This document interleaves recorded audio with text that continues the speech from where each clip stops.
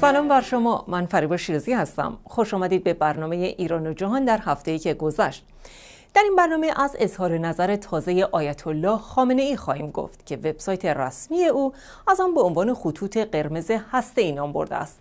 نگاهی خواهیم داشت به جلسه استیزاه علی اصغر فانی وزیر آموزش و پرورش و مروری می‌کنیم بر تبصره از ماده 48 آین دادرسی کیفری که متأمین امنیتی را ناگزیر می کند که وکلای خود را از میان وکلای معتمد رئیس قوه قضایی انتخاب کنند.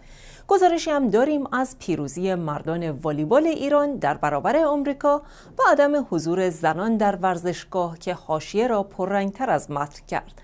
در پایان نیز بهنام امینی خبرنگار ما در ترکیه با من و شما خواهد بود.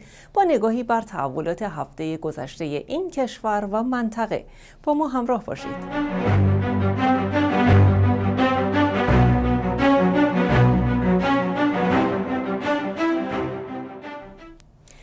همزمان با دور جدید مذاکرات ایران و گروه پنج به علاوه یک رهبر جمهوری اسلامی فهرست خطوط قرمز نظام را اعلام کرد و از جمله تاکید کرد که ایران محدودیت بلند مدت فعالیت های خود را نمیپذیرد. آیت الله علی خامنه ای روز سهشنبه دوم تیر ماه در دیدار رمضانی سران قوا و مسئولان و مدیران ارشد نظام فهرستی از خطوط قرمز نظام را در مورد برنامه هسته‌ای جمهوری اسلامی اعلام کرد. متن سخنرانی رهبر ایران در وبسایت رسمی او با عنوان ترسیم سریح خطوط قرمز هسته‌ای منتشر شده است. این متن شامل هفت بند است که با عدم پذیرش محدودیت بلند مدت از سوی ایران آغاز می شود. رهبر جمهوری اسلامی همزمان با دور جدید مذاکرات اتمی میان نمایندگان ایران و گروه پنج به علاوه یک در وین تاکید کرد که مخالف پذیرش محدودیت بلند مدت در فعالیت هسته‌ای ایران است. او در سخنرانی سهشنبه شب خود تاکید کرد برخلاف اصرار آمریکایی ها محدودیت های بلند مدت ده تا دوازده ساله را قبول ندارد و افزود مقدار سالهای مورد قبول محدودیت را به آنها گفته ایم. آیت الله خامنه این در حضور رؤسای سقوه بدون اشاره به زمان مورد قبول جمهوری اسلامی گفت آنها می‌گویند در مدت دوازده سال هیچ کاری نکنید اما این یک حرف زور مضاعف و غلط مضاعف است. این مورد با عنوان ادامه کار تحقیق و توسعه و ساخت و ساز در زمان محدودیت با عنوان دومین بند از خطوط قرمز ایران معرفی شده است. رهبر جمهوری اسلامی همچنین لغو فوری تحریم های ایران و عدم تاکید بر اجرای تعهدات ایران را دو مورد دیگر در خطوط قرمز نظام در مذاکرات دانست. و افزود لغو تحریم ها نباید به اجرای تعهدات ایران منوط شود نگویند شما تعهدات را انجام دهید. بعد آژانس گواهی دهد تا تحریم ها لغو شود. ما این مسئله را مطلقا قبول نداریم. به افزود تحریم های اقتصادی مالی و بانکی چه مربوط به شورای امنیت چه کنگره آمریکا و چه دولت آمریکا باید فورا هنگام امضای موافقتنامه لغو و بقیه تحریم ها هم در فواصل معقول برداشته شود. او همچنین ضمن رد درخواست گروه پنج به علاوه یک مبنی بر همکاری کامل ایران با آژانس بین المللی انرژی اتمی برای برداشته شدن تحریم ها گفت ما با موکول کردن اجرای تعهدات طرف مقابل به گزارش آژانس مخالفیم چون آژانس بارها و بارها ثابت کرده مستقل و عادل نیست. بنابراین ما به آژانس بدبین هستیم. مخالفت با موکول کردن هر اقدامی به آژانس در متن سخنرانی رهبر ایران با عنوان بند پنجم خطوط قرمز ایران معرفی شده است. آیت الله خامنه ای در ادامه ضمن تاکید بر بدبینی خود در مورد مذاکره با آمریکایی ها نیز گفت آمریکایی ها به دنبال نابود کردن صنعت هسته‌ای ایران هستند. او گفت موضوع مذاکره با آمریکایی ها به زمان دولت قبل باز می‌گردد و به فرستادن واسطه از سوی آمریکا به تهران برای درخواست مذاکره مربوط می شود رهبر جمهوری اسلامی افزود ما به آن واسطه گفتیم به آمریکایی ها و حرفهایشان اطمینانی نداریم اما با اصرار آن واسطه قبول کردیم که این مسئله را یک بار دیگر امتحان کنیم و مذاکرات شروع شد به نظر می رسد اشاره رهبر جمهوری اسلامی به کشور عمان باشد که طی سالهای گذشته در موارد مختلف به عنوان واسطه میان ایران و آمریکا عمل کرده است. وی گفت در آن زمان ما حاضر بودیم اگر آمریکایی ها سر حرفها و وعده های خود به آن واسطه می ایستادند ما هم هزینه بدهیم چون در مذاکرات می توان بر اساس عقل و محاسبه عقبگردهایی نیز داشت. اما آنها اندکی بعد از مذاکرات زیاده خواهی و بدعهدی را آغاز کردند. آیت الله خامنه ای ضمن تاکید بر مخالفت قاطع خود با بازرسی های غیر متعارف پرسجو از شخصیت های ایران و بازرسی از مراکز نظامی این موارد را از دیگر خطوط قرمز هسته جمهوری اسلامی اعلام کرد او پیشتر نیز درخواست مصاحبه با دانشمندان هسته‌ای ایران را زیاده روی خواند و از این درخواست با عنوان بازجویی یاد کرد و گفته بود هرگز و مطلقا چنین اجازه‌ای به بیگانگان نمی‌دهد. تاکید رهبر جمهوری اسلامی بر این خطوط قرمز که همگی موارد مورد مناقشه میان ایران و گروه پنج علاوه یک است گمان زنی در مورد تمدید مهلت مذاکرات تا دستیابی به توافقی جامع بر سر برنامه اتمی ایران را تقویت می کند. غیبت اکبر هاشمی رفسنجانی در دیدار روز سهشنبه مقام های ارشد نظام مورد توجه خبرگزاری ها قرار گرفته است. دیدار دیروز نخستین دیدار مدیران ارشد نظام با رهبر جمهوری اسلامی پس از اعلام حکم نهایی مهدی هاشمی فرزند اکبر هاشمی رفسنجانی است. محمود احمدی نژاد رئیس جمهوری سابق ایران اما در این دیدار حضور داشت. هفته گذشته مجلس شورای اسلامی در پایان جلسه استیزاه وزیر آموزش و پرورش دولت یازدهم را در مقام خود ابقا کرد. در جلسه استیزاه علی اصغر فانی مانند استیزاه وزیر علوم پیشین موضوع حضور برخی افراد در پست های مدیریتی بار دیگر مطرح شد. طرح استیزاه علی اصغر فانی وزیر آموزش و پرورش در مجلس ایران رأی نیاورد. آقای فانی در این جلسه موفق شد با کسب 167 رأی مخالف استیزاه نمایندگان، 76 رأی موافق استیزاه نمایندگان و 13 رأی ممتنع از مجموع 256 رأی معخوزه بار دیگر به عنوان وزیر آموزش و پرورش در این وزارتخانه به مسئولیت خود ادامه دهد. تقاضای استیزاه فانی با 64 امضا در هیئت رئیس اعلام وصول شد که گفته می شود 35 نفر از امضا کنندگان امضای خود را پس گرفته بودند. ناتوانی وزیر در جلب رضایت و اعتماد جامعه مهم آموزش و پرورش عدم وجود رویکرد جدی و برنامه محور به دانشگاه فرهنگیان با عنایت به اهداف بلند این دانشگاه ناتوانی وزیر در جلب توجه دولت به اهمیت و نقش آموزش و پرورش از مهمترین محورهای استیزاه وزیر آموزش و پرورش بود. آقای کوچکی نژاد نایب رئیس کمیسیون آموزش و تحقیقات مجلس استیزاه وزیر آموزش و پرورش را در راستای منافع یک میلیون فرهنگی و 13 میلیون دانش آموز توصیف کرد و غلامرضا تاجگردون هم در دفاع از آقای فانی گفت بیشترین استیزاها در طول مجالس ایران استیزاه وزیر آموزش و پرورش بوده است. او گفت در کنار فرهنگیانی هستیم که خود یا فرزندانشان سر گرسنه بر بالین می‌گذارند اما آیا با استیزاه می توان این شرایط را تغییر داد؟ اگر می خواهیم وضع فرهنگیان بهتر شود تک تک نمایندگان و دولت مردان در این قضیه سهیم هستند. علی اصغر فانی هم در دفاع از خود گفت در اجرای عدالت آموزشی و افزایش افراد تحت پوشش آموزش و پرورش 110 مدرسه تک دانش آموزه داریم یعنی یک مدرسه با یک دانش آموز برقرار می شود. همچنین 4800 مدرسه با زیر پنج دانش آموز اداره می شود. این نشان می دهد که دولت و وزارت آموزش و پرورش برای تأمین آموزش و اجرای عدالت آموزشی هزینه های بالایی را متحمل شدند. در جلسه استیزاه وزیر آموزش و پرورش اسحاق جهانگیری معاون اول رئیس جمهور محمد باقر نوبخت سخنگوی دولت مجید انصاری معاون پارلمانی رئیس جمهور محمود علوی وزیر اطلاعات و چند عضو دیگر کابینه حضور داشتند. اما حسن روحانی رئیس جمهور ایران در این جلسه حاضر نبود.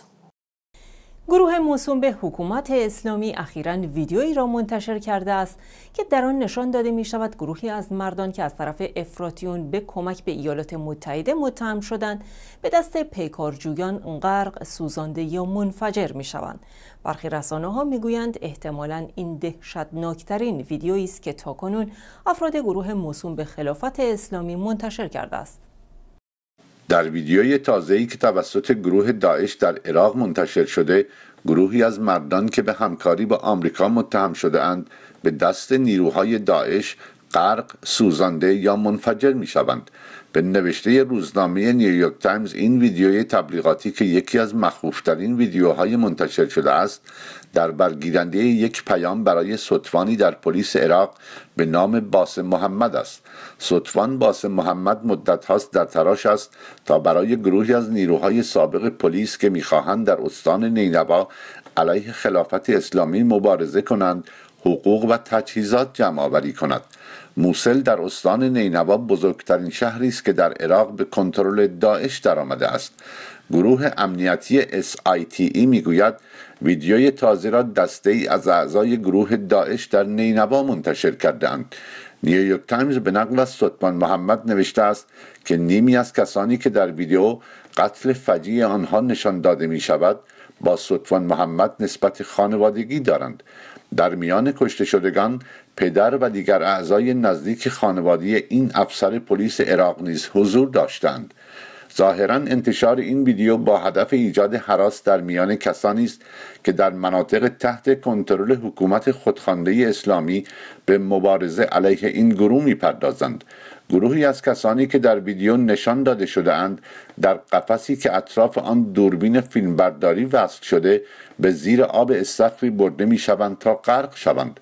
دیلی میل چاپ بریتانیا می‌گوید بخشی از ویدیوی غرق کردن شهروندان داخل آب و برای نشان دادن جزئیات خفه شدن آنها فیلم برداری شده است.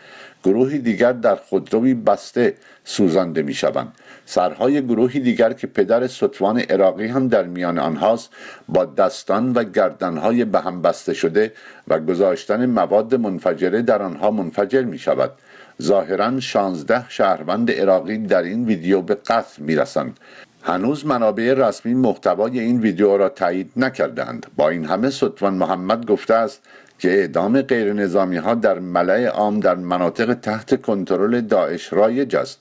در خبری دیگر از عراق سایت بلومبرگ به نقل از دو مقام دولت واشنگتن نوشت که سربازان آمریکایی و شبه نظامیان شیعه عراقی که از سوی دولت ایران پشتیبانی می شوند از این پس مشترکاً از پایگاه نظامی تقدم در استان الانبار استفاده خواهند کرد. به گزارش بلومبرگ شبه نظامیان شیعه عراقی اهرام جمهوری اسلامی ایران برای توسعه نفوذ خود در عراق و پشتیبانی نظامی از رژیم بشار اسد در سوریه هستند. قرار است در این پایگاه 450 نیروی آمریکایی مستقر شوند که به فرمان باراک اوباما رئیس جمهوری آمریکا و به منظور آموزش نیروهای نظامی محلی علیه گروه داعش به عراق اعزام می شوند به نوشته سایت بلومبرگ شماری از شبه نظامیان شیعی که در این پایگاه مستقر شده اند در گذشته سربازان آمریکایی در عراق را به قتل رساندند. برخی از های دولت آمریکا نگرانند که استقرار شبه نظامیان شیعه در پایگاه تقدم جان سربازان آمریکایی را به خطر بیاندازد.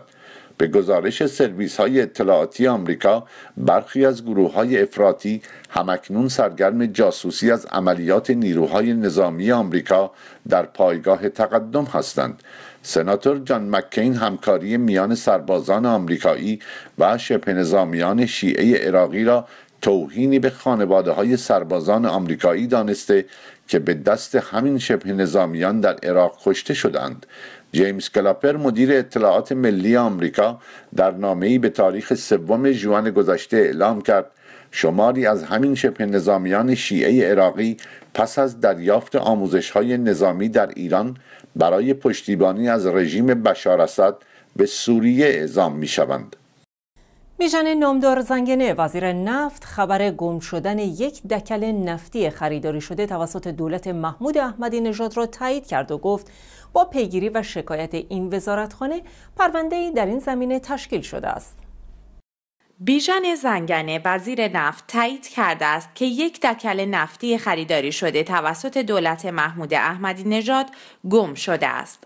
وزیر نفت ایران روز سهشنبه دوم تیر گزارش ها درباره مفقود شدن یک دکل نفتی خریداری شده از یک شرکت خارجی در دولت گذشته را تایید کرد و گفت که با پیگیری و شکایت این وزارتخانه پرونده‌ای در این زمینه تشکیل شده است. به گزارش خبرگزاری خانه ملت وابسته به مجلس آقای زنگنه گفته است وزارت نفت به دنبال خرید دکلهای خارجی نیست و قراردادهای موجود در این زمینه در دولت سابق منعقد شده است.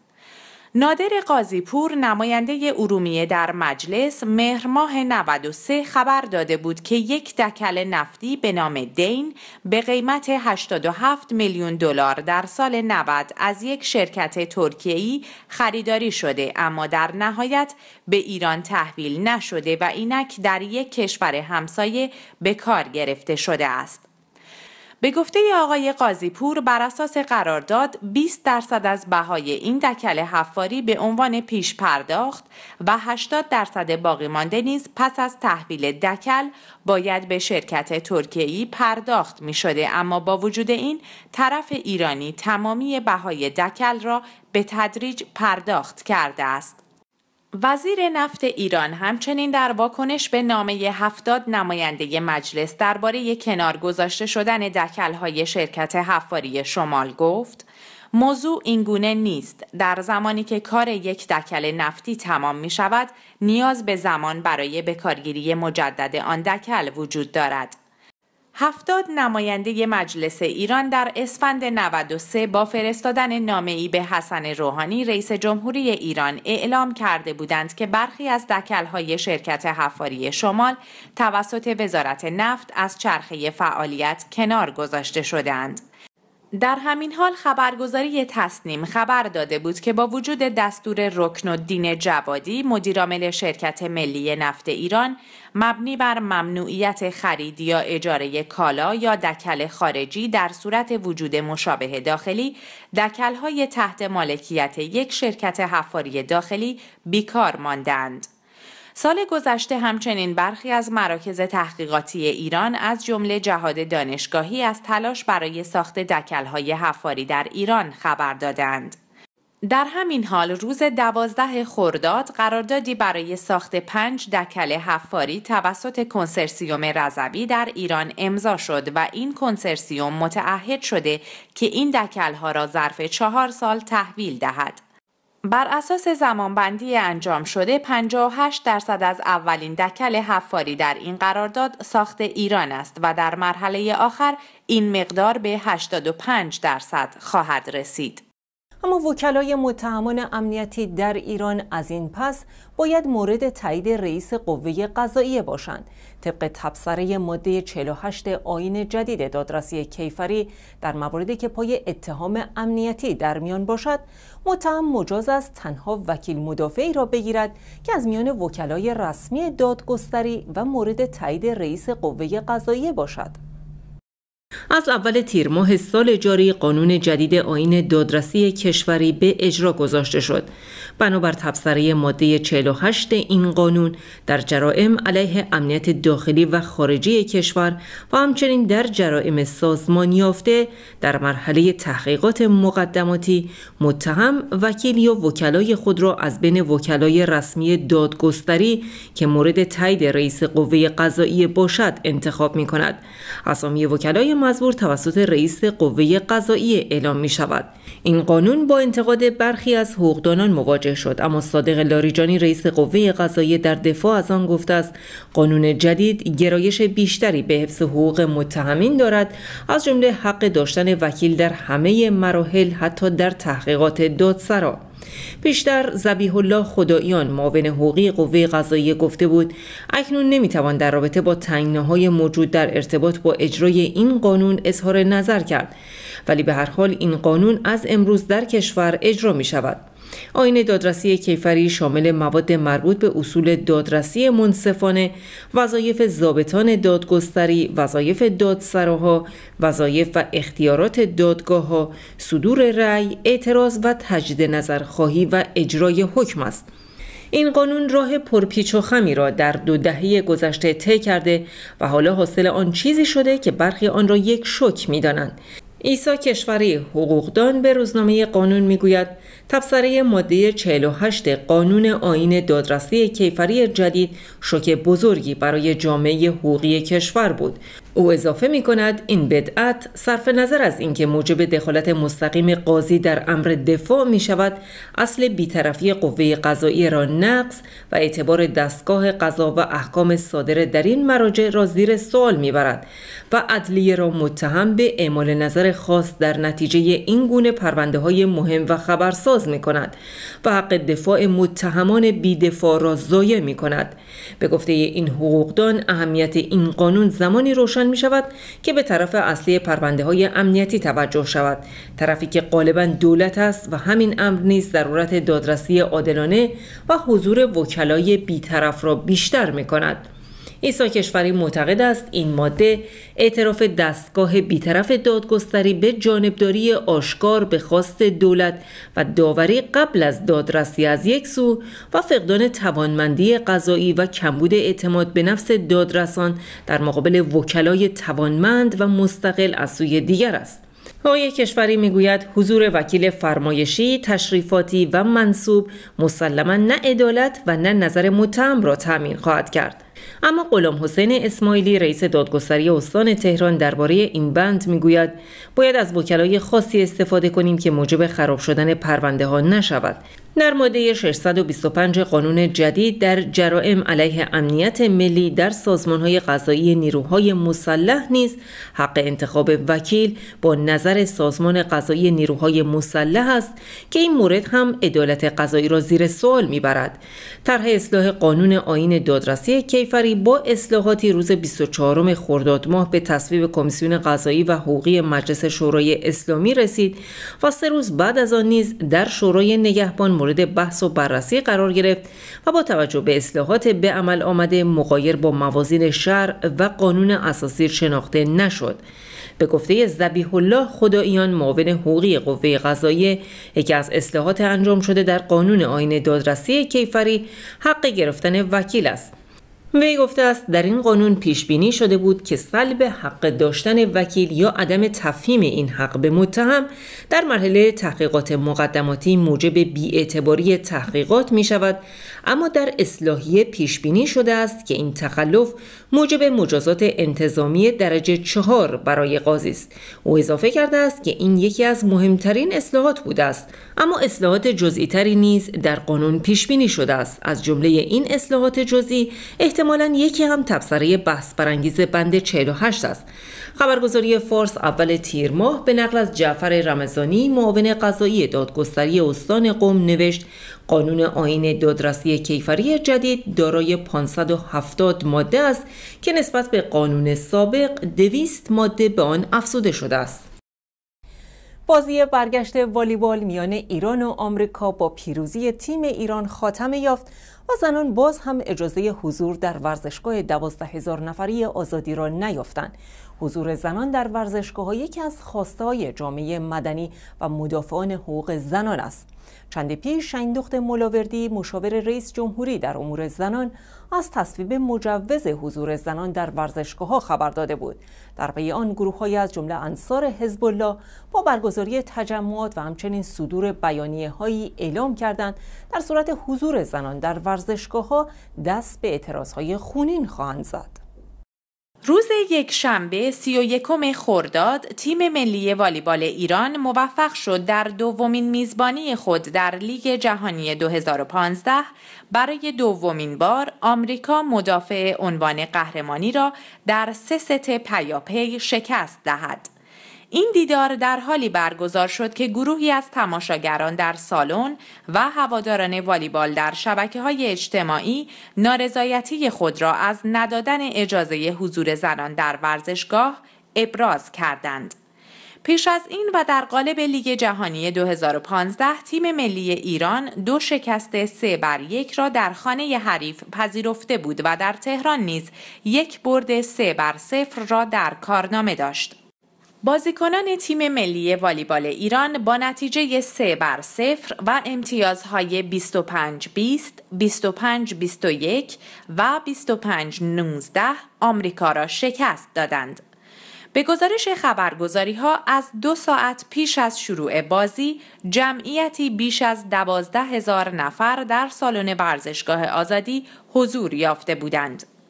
داگلاس بیل رئیس فدراسیون والیبال آمریکا از رفتن به جایگاه ویژه خودداری کرد و بازی را از کنار زمین دنبال کرد. شهرام محمودی با کسب 16 امتیاز به عنوان امتیازآورترین بازیکن میدان شناخته شد. آرون راسل از آمریکا نیز با 9 امتیاز بهترین بازیکن این تیم بود. در جدول ردبندی گروه B آمریکا با 17 امتیاز در صدر است. لهستان با 16 امتیاز در رده دوم قرار دارد.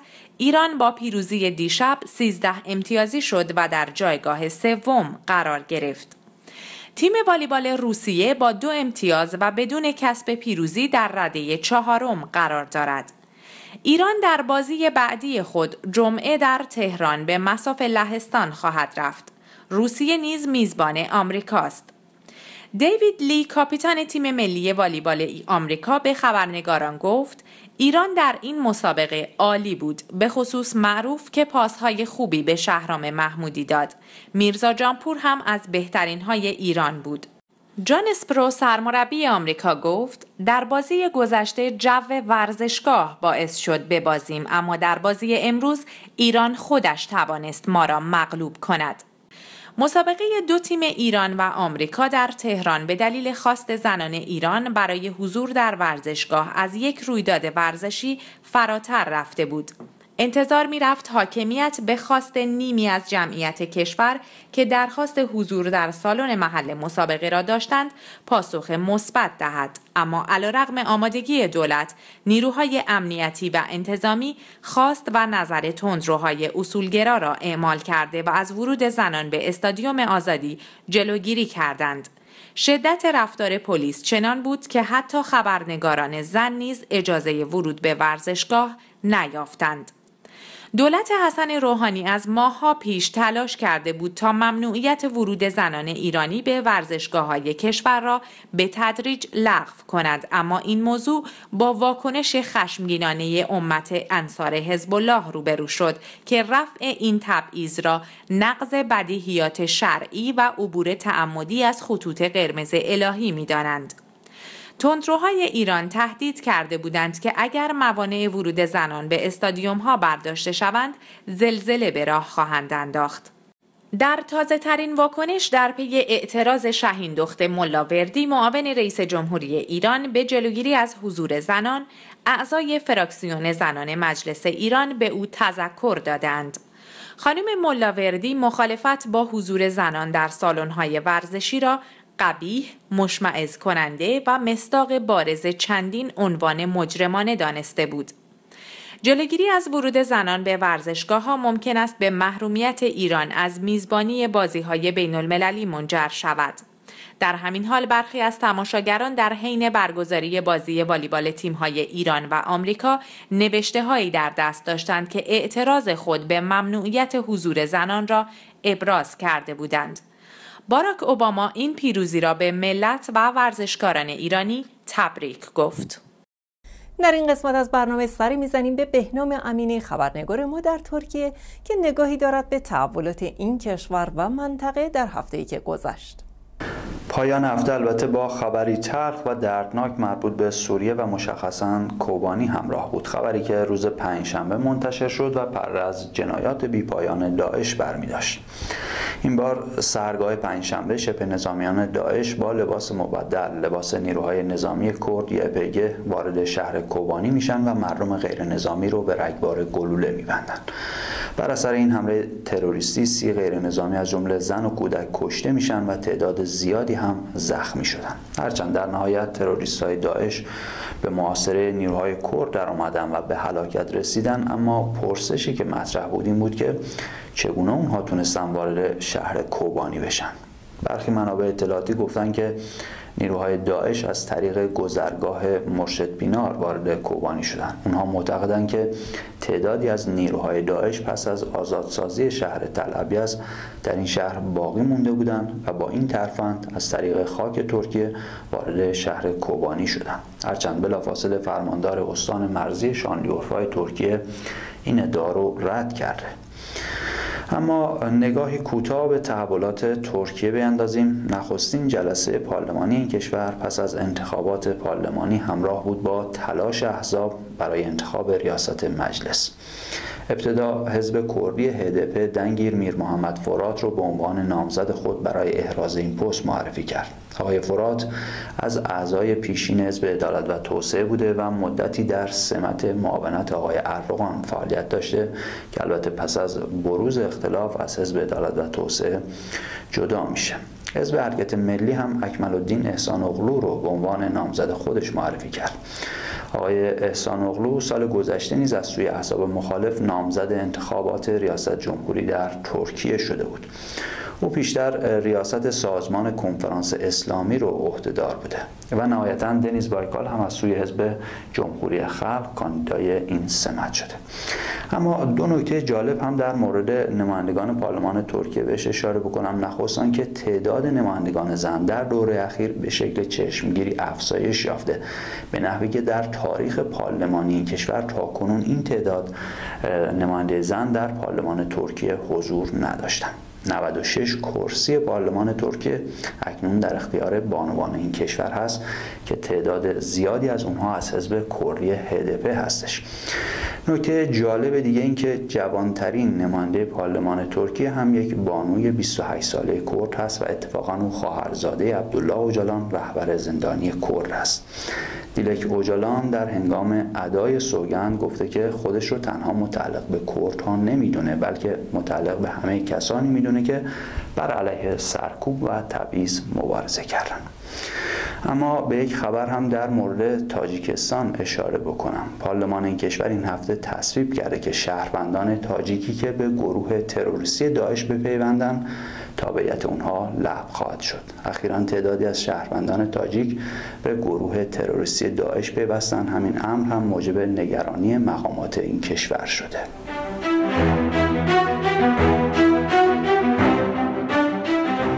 ممنونم که ما را تا پایان برنامه همراهی کردید. با ما از طریق وبسایت و صفحه فیسبوک ایران فردا با نشانی که بر روی صفحه تلویزیون ظاهر شده در تماس باشید و درباره برنامه نظر دهید. تا فردا هم که در همین ساعت با شما خواهم بود خدایا رو نگهدارتان.